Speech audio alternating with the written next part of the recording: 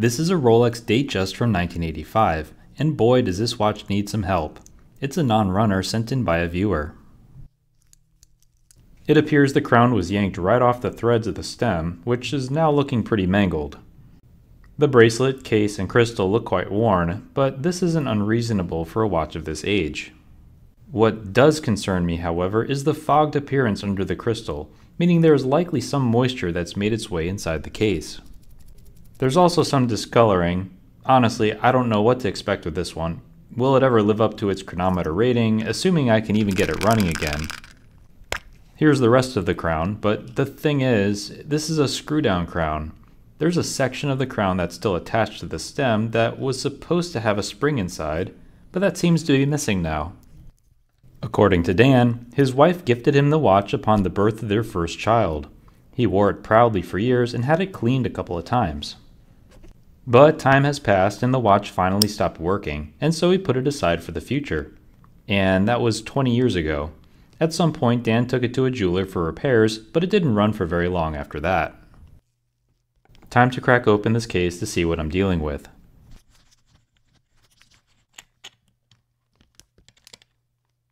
Inside is the 3035 automatic movement. Right away I'm noticing some of the screws are a bit corroded, but overall it doesn't look too bad.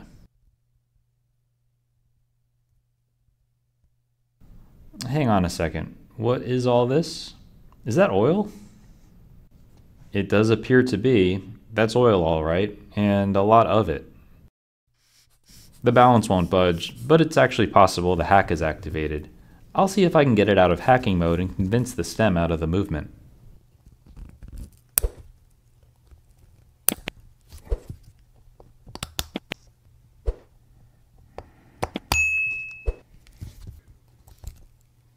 The screw-down crown features a mechanism that can securely lock the crown when it's not being operated in order to prevent any operational errors and to improve the watch's water resistance. There should be a spring inside this part to help push the crown away from the movement after it's been unscrewed. The balance did spring to life with the hacking mode disabled. This is good, so now I can establish a baseline of performance. Ah yes, the infamous snowstorm trace. Well, let's dig in and see if there's any hope for this movement.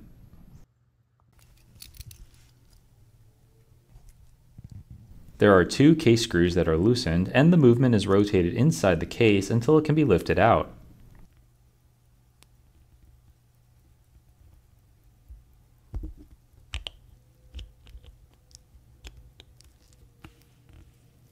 There's a good deal of moisture and uh, oil splatter underneath that crystal.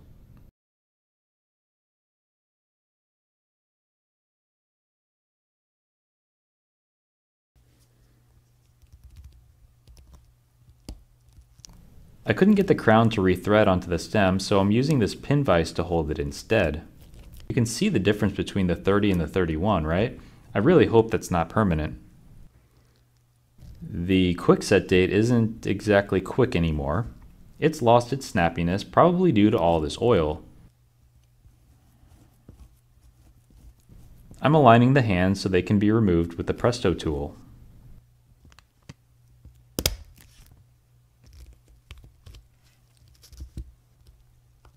There are two dial foot screws along the rim of the movement.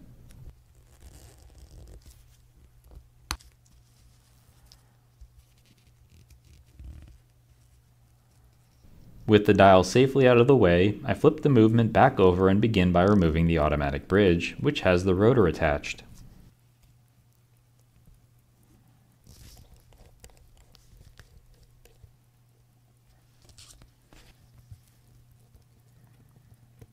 So here's what I think happened. Dan took his watch to the jeweler, who may or may not have snapped off the crown, then proceeded to squeeze oil into the case tube in the hopes that something positive would happen. There's no other explanation as to why this much oil is dripping from this movement.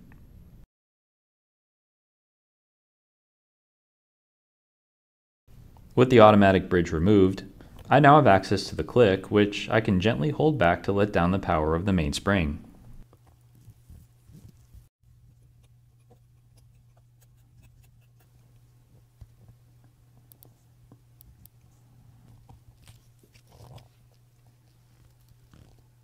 The balance is now removed and stored in a safe location.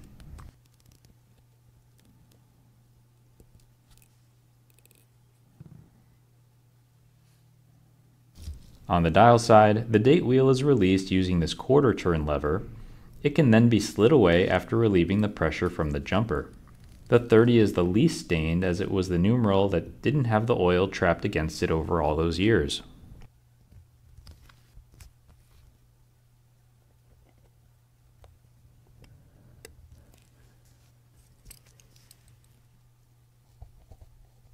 The date jumper is now removed.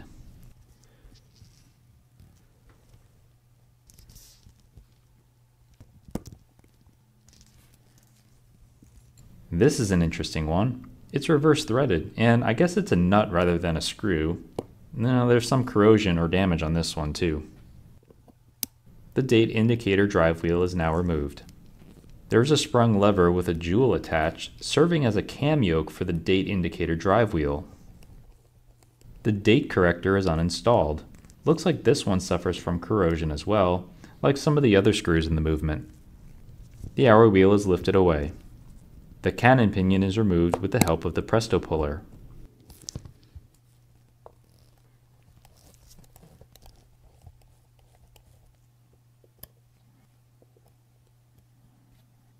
The date ring seat is removed from the movement plate. The date drive wheel cam is now removed. The spring for this cam rivals most springs I've seen even in the largest of pocket watches. It sure is a beast.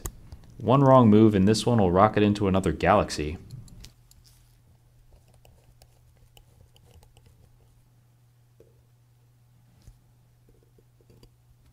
The pallet bridge is now removed with the pallet fork stuck to its hole jewel.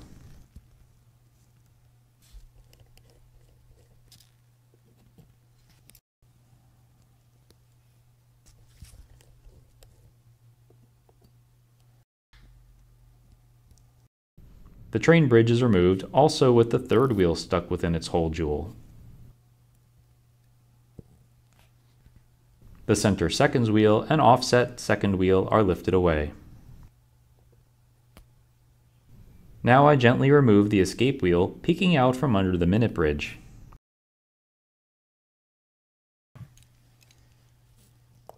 Look at the oil just oozing out from under that ratchet wheel. The crown wheel screw is reverse threaded.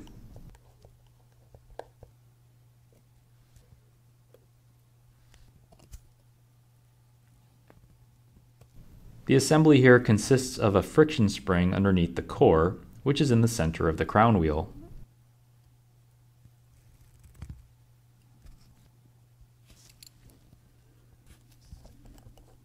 The click and its spring are also removed for cleaning.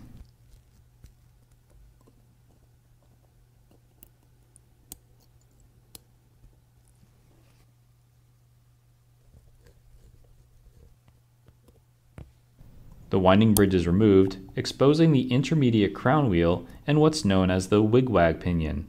This all serves as part of the interface from the automatic winding work.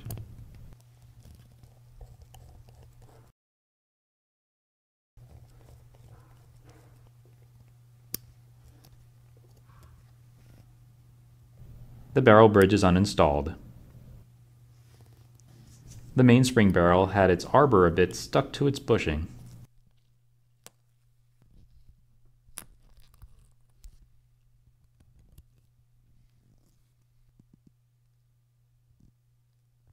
Well, that's par for the course. The arbor is removed and I can unwind the spring. I don't plan on reusing it, I'm just not sure if it was affected by the moisture like some of the other parts, so I'm not going to chance it.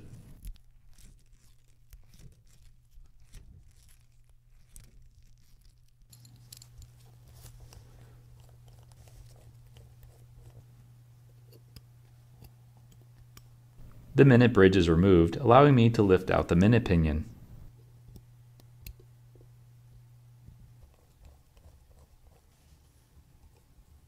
Back to the dial side, the setting lever jumper, which has the intermediate date corrector wheel mounted to it, is uninstalled. The intermediate setting gear was a stowaway thanks to the oil. The minute wheel is lifted away. I'm now removing the yoke spring and then the yoke.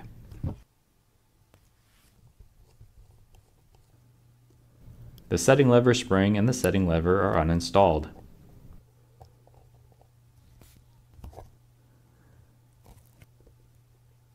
I can now slide out the hacking lever.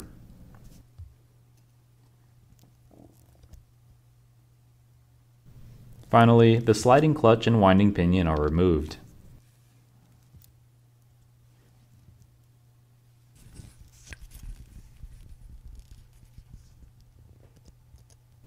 I like to separate any shock protected cap jewels from their respective hole jewels for the cleaning cycle. Doing so allows the cleaning fluid better access through the holes, meaning I'll have a greater chance at cleaning what sludge remains on the surfaces of the synthetic ruby these jewels are made of. The jewels that do have end stones on this movement, which are both the balance jewels and both escape wheel jewels, are all shock protected using the KIF shock protection system.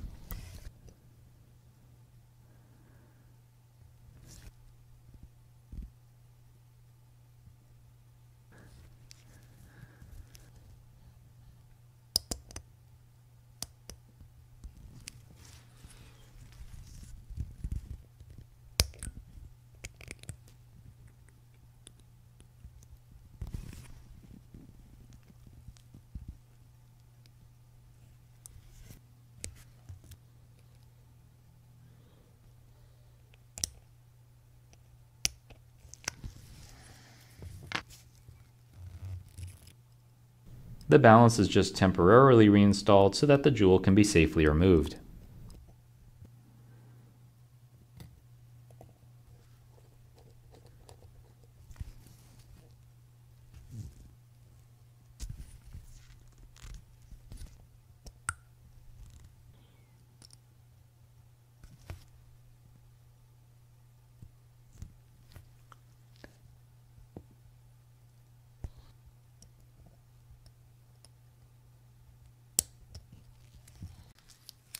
Beginning with disassembling the automatic winding system, the rotor pinion is removed first.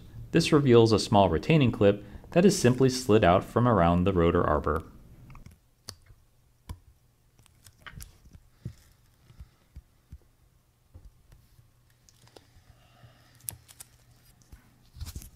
And now the rotor can be set aside.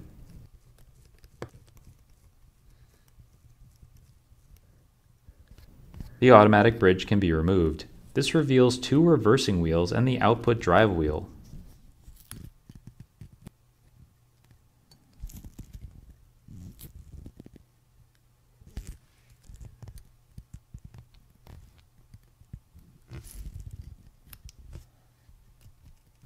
The reversing wheels are disassembled for cleaning as well. I knew this was a long shot, but I'm using a gentle paintbrush dipped in naphtha to thin and remove the oil residue from the date ring. In my past experience, I knew this wouldn't make matters any worse, but at least has some upside. In the end, I was pleasantly surprised with the outcome. Normally, and I have to stress this, trying to clean a dial usually ends in disaster, but I can't just leave the oil sitting on it like this. I'll do my best to try to clean it off using the same process I used on the date ring. I would later take a sharpened piece of pegwood to edge around the logo and the indices. All jewels and pivots are inspected for damage, and I'll take a closer look after cleaning is complete prior to reassembly. The objective of the pre-cleaning process is to eliminate the majority of the grime and excess oils to minimize the contamination of the cleaning fluid and to initially break up most of the fouled areas such as the inside of the jewel holes.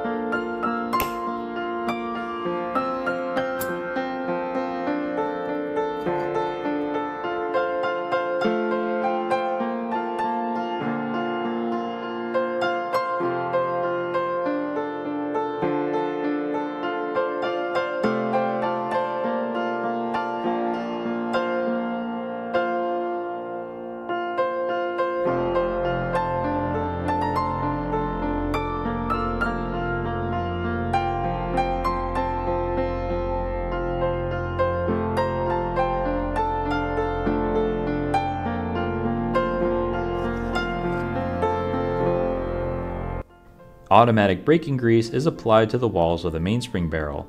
As mentioned earlier, I purchased a brand new mainspring for this movement. The convention is typically the painted side of the retaining ring points up as the spring is pressed into the barrel.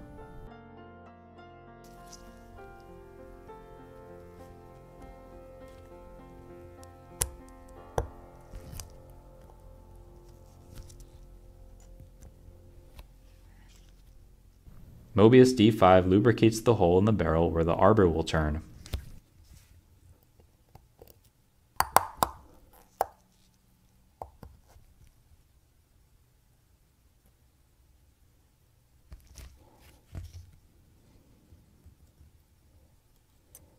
The barrel lid can be snapped into place. Before reassembly, I'm now taking the time to re-inspect every jewel. I just want to make sure the cleaning ritual did a thorough job and there isn't anything that's going to foul the pivots. I'm reinstalling each of the end stones underneath their respective KIF springs. Some people place a droplet of 9010 on the stone before installation, but I'll use an automatic oiler to do this after the fact.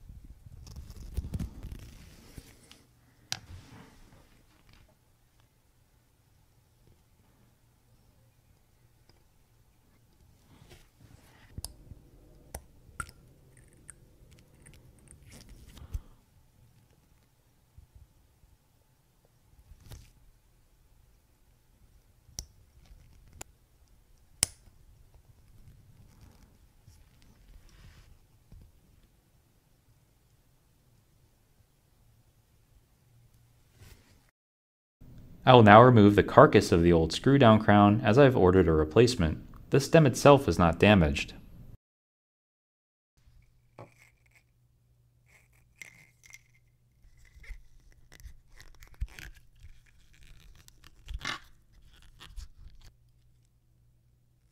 I believe it to be good practice to use a little thread locker to secure the crown to the threads of the stem.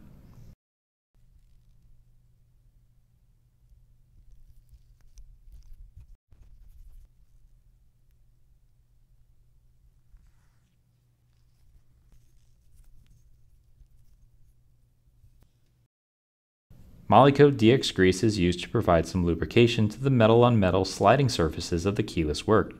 This includes the surfaces of the stem as well as the winding surfaces of the sliding clutch. The winding pinion and sliding clutch are placed while being supported with a bit of Rodico until the stem can be inserted.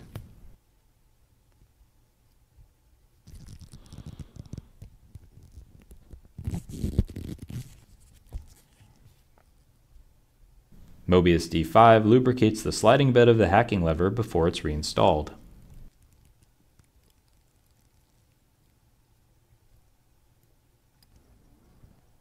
D5 also oils the hole where the setting lever post protrudes.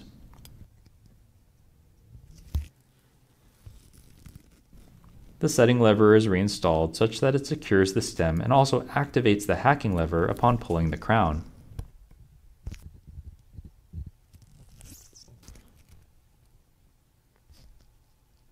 The setting lever spring is now installed.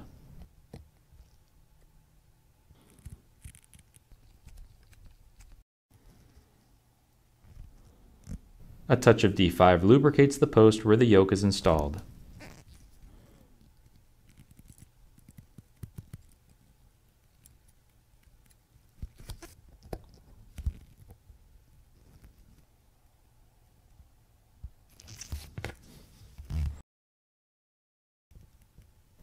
The yoke spring is reinstalled.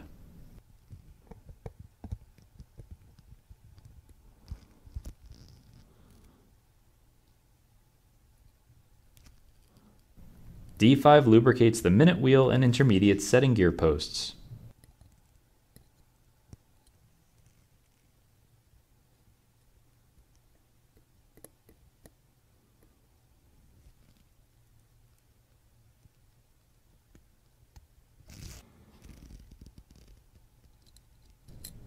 And now the setting lever jumper can be fitted over the keyless work.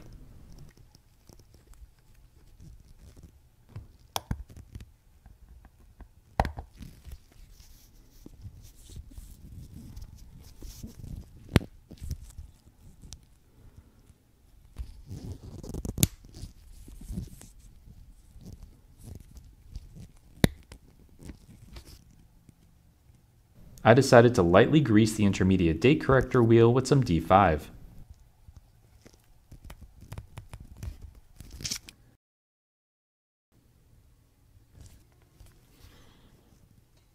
The minute pinion is lowered into place. The bridge over the pinion can now be reinstalled.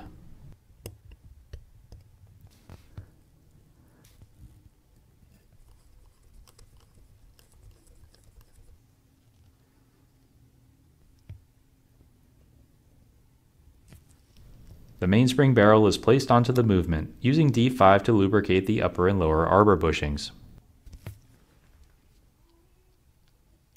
And now the barrel bridge can be fitted.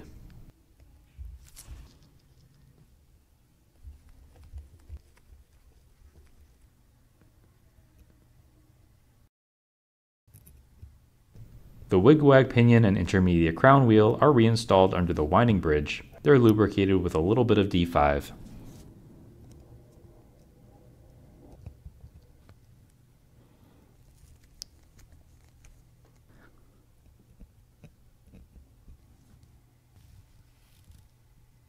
The click spring is reinstalled, followed by the click.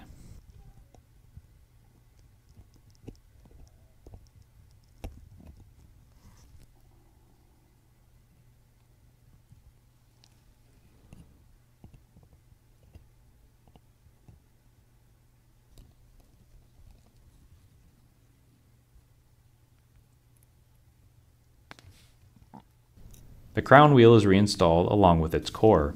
I did forget about the friction spring, but I'll come to that realization later. The ratchet wheel is reinstalled.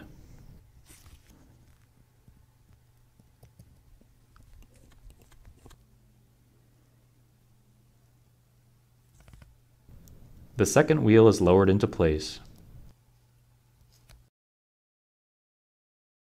The center seconds wheel receives a touch of Moebius 9010 before it is inserted through the hollow minute pinion arbor.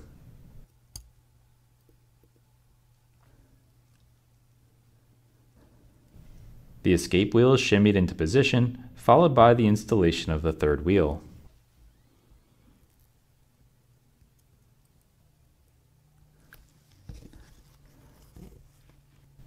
The train wheel bridge can now be reinstalled, taking care to ensure that all pivots are seated in their respective jewel holes before the bridge is finally tightened down.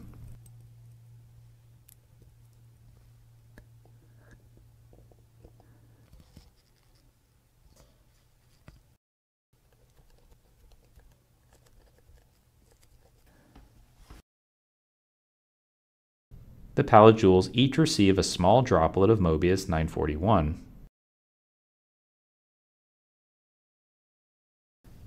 The pallet fork can now be installed. I gently ensure the fork pivots are seated in the jewel holes before tightening down the bridge.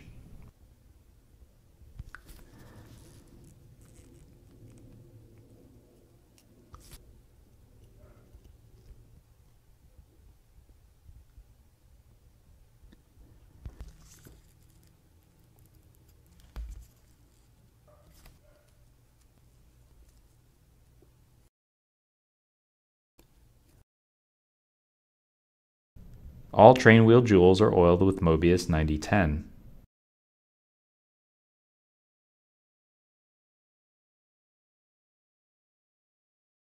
It's almost time for the moment of truth. I'm excited and anxious to find out how well this movement performs. The balance is now reinstalled.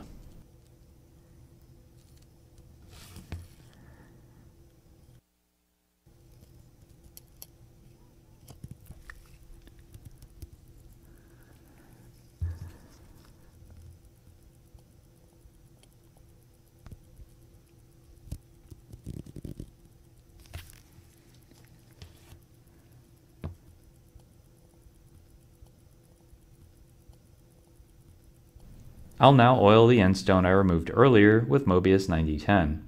It is mated with the hole jewel and then reinstalled into the balance cock.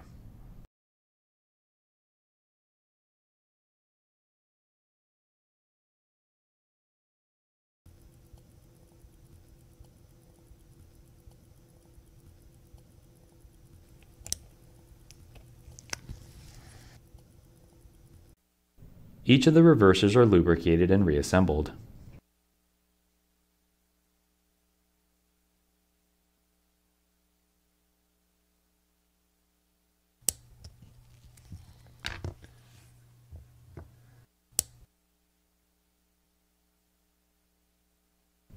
The output drive wheel is placed in the automatic plate before the reversing wheels are fitted above it.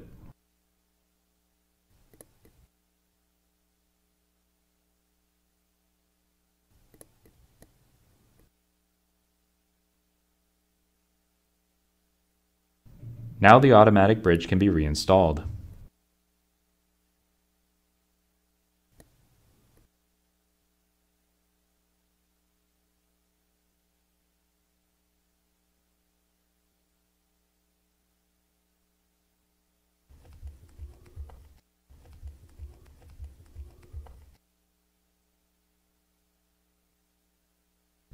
The pivots are each lubricated prior to installing the rotor.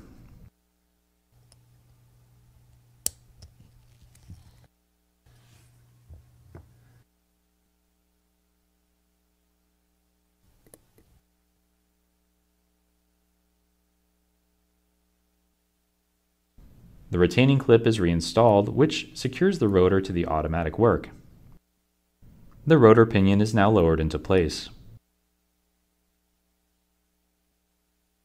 A touch of D5 is used to oil the post where the date drive wheel cam yoke will sit.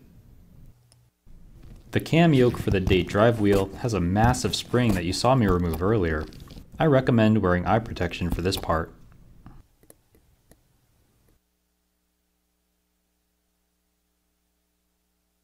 and the cam yoke can be lowered into place while holding back its spring.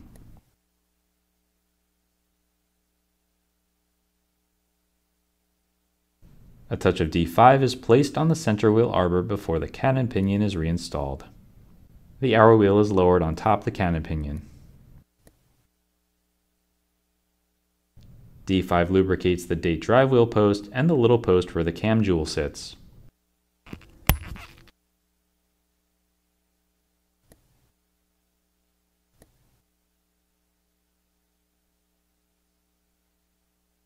Now the date drive wheel can be lowered into place, ensuring the yoke and its jewel rests against the cam underneath the wheel. The reverse threaded nut secures it into position. The date ring seat is fitted back onto the movement plate.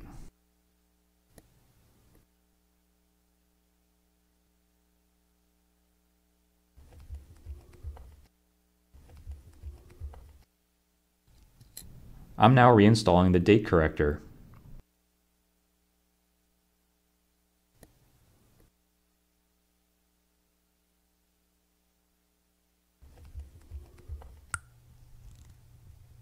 The date jumper is now fitted back into place.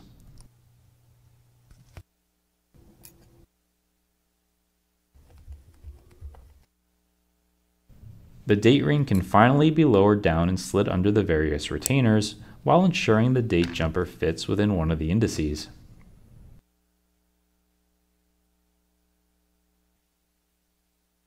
And then the quarter turn clip can be used to finalize the installation of the date indicator ring. The date corrector has a ring with an eccentric hole that rotates with the crown when it is pulled out to the first position. The teeth of the corrector push the date indicator ring one increment at a time.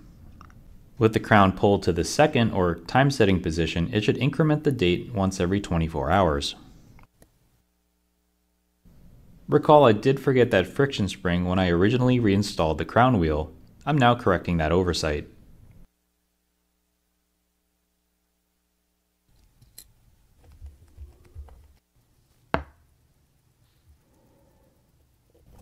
The dial is reinstalled and I will then tighten the two foot screws along the rim of the movement plate to secure it.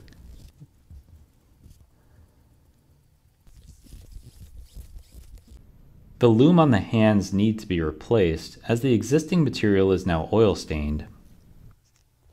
I'm using a piece of sharpened pegwood to gently scrape off the old lume from the backside of the hands. With the lume removed and the hands completely cleaned, I use an old oiler to gently apply the newly mixed lume from a kit I purchased online. Capillary action helps wick the lume into place. It does shrink a tiny bit as it dries, so I need to be somewhat generous while at the same time not going overboard as I don't want to actually increase the effective thickness of the hands or I'll run into clearance issues. Both the case back and case tube gaskets will be replaced. I will be polishing this case as agreed to by the owner, with the understanding that there are some deeper scratches that will still be present. I'll use my judgment for how far I go with it, as I don't want to affect the shape or the angles in any way. As for the original crystal, well, it too could benefit from a little cleanup.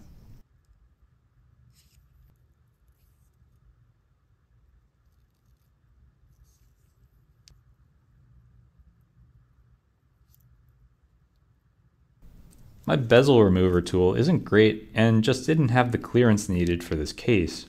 As an alternative, I can safely remove a bezel like this using a small blade, incrementally working my way around it.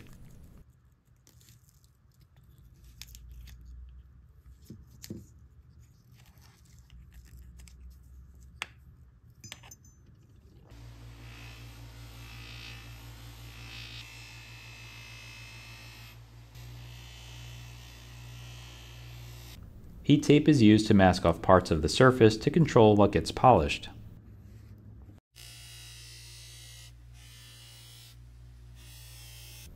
Likewise, it's also used to protect the polished areas when freshening up the surfaces that need a brushed appearance.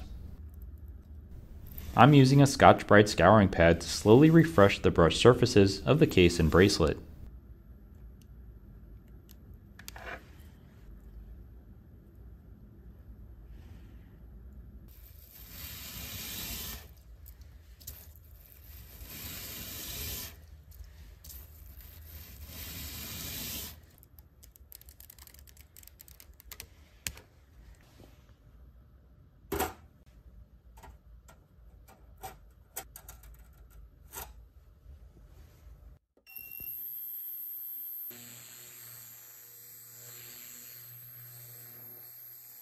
Meanwhile, onto the crystal, it can be restored with a little bit of polywatch and a lot of elbow grease.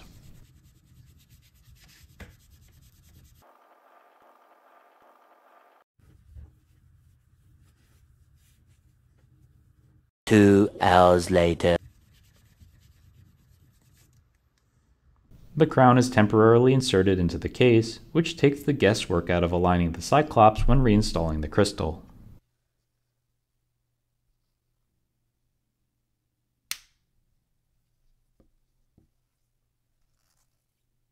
And now the bezel is laid over the case before being pressed on with the tool.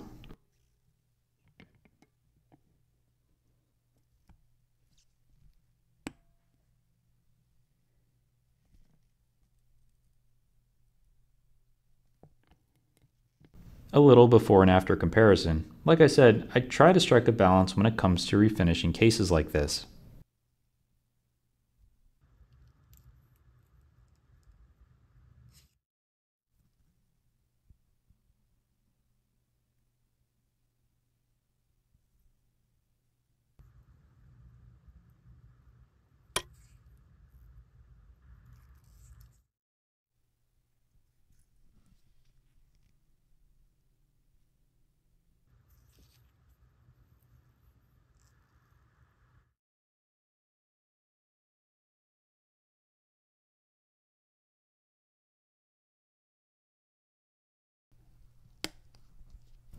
Now to trigger the date changeover so that I can get the hands installed at midnight.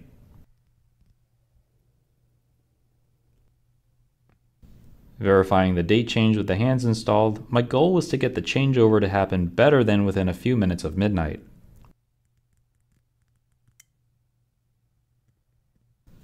Satisfied with the results, I can finally reinstall the sweep seconds hand.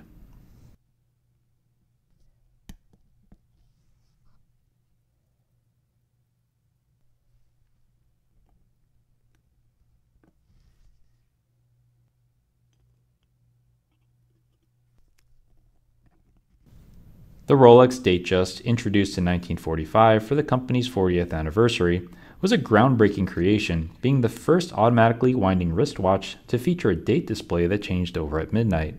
This introduction marked a pivotal moment in watchmaking history, setting a new standard for functionality and design. Over the years, the Datejust has undergone several evolutions and refinements, such as the addition of the Cyclops magnifying glass in the 50s and the quickset date feature in the 70s. The Rolex Datejust 16014, produced in the late 70s and 80s, takes center stage in this video. The reference is lauded for its classical design and technological advancements. The inclusion of the quickset date function, powered by the Rolex Caliber 3035 movement, contributed to its reliability and ease of use. In the late 80s, Rolex then introduced a newer version of the Datejust with a 3135 movement, resulting in incremental improvements in accuracy and reliability, but more notably, the watches began being produced using a sapphire crystal, which replaced the acrylic crystal used in past references. The Datejust line continues to be updated in modern times, with the most recent revision occurring in 2009, with the introduction of the 41mm version alongside the 36mm model. Available with either the Oyster or Jubilee bracelet, the Datejust was not designed for a specific purpose or activity like some of Rolex's other models, Instead, it's simply a classic and reliable watch, versatile in its aesthetic qualities that can be worn every day. In terms of timekeeping reliability, the movement in this watch originally met chronometer standards and had passed COSC certifications. Among other considerations, that means this movement should keep time to within minus 4 to plus 6 seconds per day across the five major positions. So, while I feel that this movement is keeping good time, all things considered, I think I can dial it in a bit more and perhaps bring it back to chronometer accuracy. Rolex uses what's called a microstella system of regulation on its free-sprung Breguet over coil balances. The only way to regulate such a balance is by turning in and out these little pairs of star-shaped screws.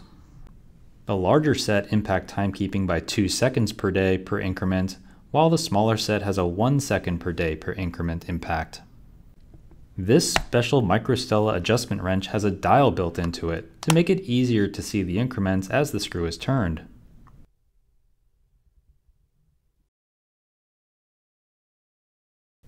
Adjustments can be made in hacking mode even while the movement is cased. It's a bit disconcerting to observe, I know, but rest assured, the balance was designed for this type of adjustment and no pivots were harmed in the making of this video.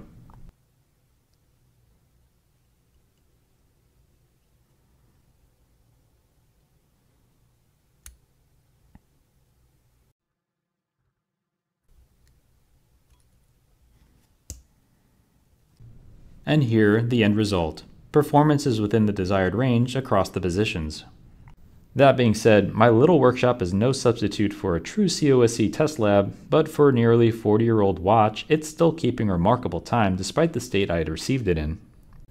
So I hope you learned something from this video today, but if not, I hope you at least found it enjoyable. Thanks for fixing watches with me today, and I'll see you in the next one.